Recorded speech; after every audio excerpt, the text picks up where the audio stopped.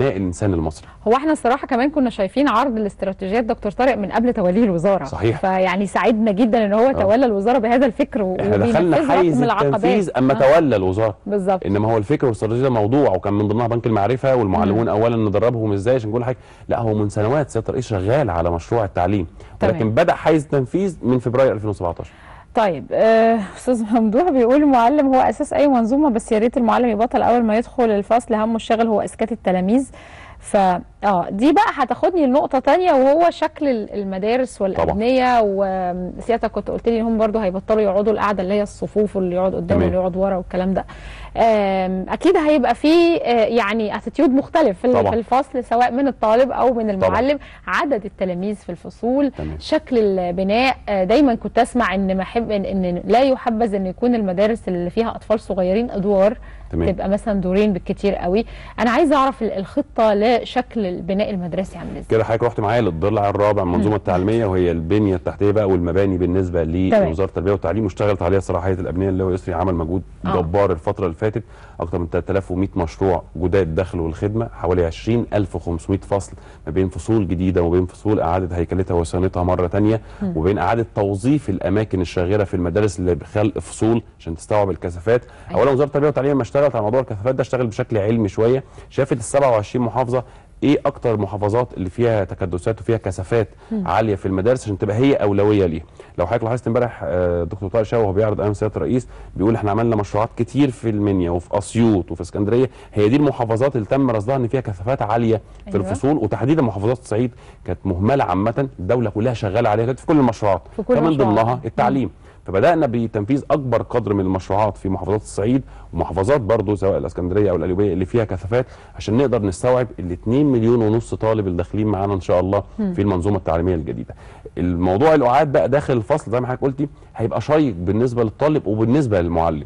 القعاد زي ما حضرتك الرسالة بتقول لك خش اسكتوا هي شكل الفصل أصلا كان بيبقى فيه نوع من مزعج كآبة شوية آه. يعني فاهماني كلنا اتعلمنا كده بس إحنا بنحاول نغير صوتنا عالي عندنا بالظبط. آه، يعني حاجة واحفظ وسمع وعملت. الواجب ولا لا إحنا أصلا جايين زهقانين يعني لوحدنا صحيح. جايين فاحنا مش عايزين بقى اللي جاي أو جاي مرعوب إني ما عملتش الواجب أو جاي مرعوب إني ما حفظتش أو هتهزق أو آه. هتذنب لا لا وهتهان أنا, أنا. رايح أفهم ورايح أتعلم آه. والمعلم كمان هيبقى هو كمان الاتجاه بتاعه عايز يوصل المعلومة عايز يبقى قاعد محاور مع مجموعة الطلاب دول عشان كده إحنا اشتغلنا عليهم مش تدريب مهني بس تدريب كمان سلوكيات وده كان بقى مشروع المعلمون اولا اللي بيشتغل عليه بيشتغل. على سلوكيات المعلم في كيفية التعامل مع الطالب. ده المشاكل كنت حضرتك بترصديها سواء طالب تعدى على معلم أو العكس. صحيح الفجوة دي اشتغلت عليها وزارة التربية والتعليم برضو بمشروع كبير تحت رعايه سيادة الرئيس زي المعلمون اولا عشان نوصل السلوكيات الحياتية دي للمعلم إزاي يقدر يتعامل فيها مع الطالب. القعدة نفسها بت- بتختلف. الطالب هيبقى قاعد جنب زميله قاعدين في فريق عمل.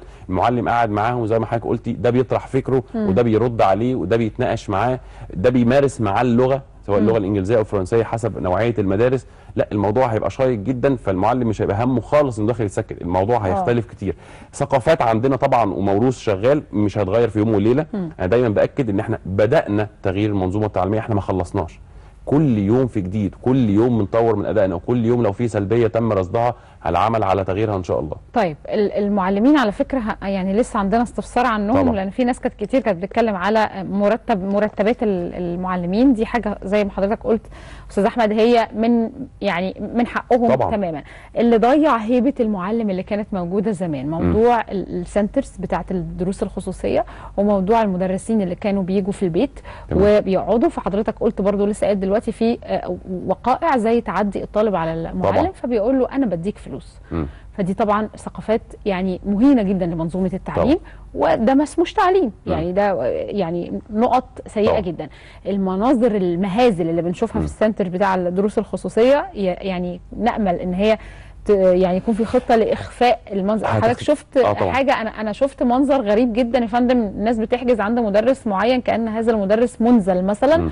فالناس واقفة طابور لحد بره ما كنتش فاهمة ده إيه قالوا لي. ده سنتر دروس خصوصية مم. يعني ما تخيلتش ده عبارة عن إيه بالظبط خلينا أقول لك حاجة أستاذ بس خلينا نقول إحنا عندنا مليون 350 ألف معلم مم. لو في بعض الظواهر حضرتك تم رصدها في الإعلام أو مننا كوزارة التربية والتعليم في سوء التعامل بين المعلم والطالب ولكن ده لا يسيء لكل المعلمين آه لسه. عندنا معلمين محترمين جدا. ممكن دي كان وجهة نظري وأنا قاعد مكان حضرتك يعني. لما دخلت الوزارة لقيت في ناس كتير بتشيد بمعلمين. في معلمين كتير عندهم بجد ضمير وبيشتغلوا. وهي دي الغالبية العظمى الصراحة.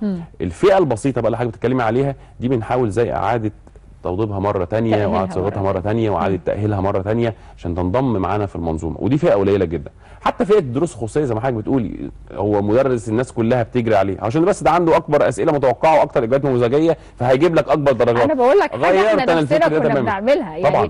إحنا لازم نواجه نفسنا إن إحنا عندنا مشكلة طبعاً. مش عايزة الجيل اللي جاي بعد كده يبقى عنده ال- ال- المشكلة دي في فكره إن المدرس ده شخص. وبعدين تيجي تسألني بس خدتي في ثانوية عامة ولا مش خدتي حاجة. مش فاكرة حاجة فعلا.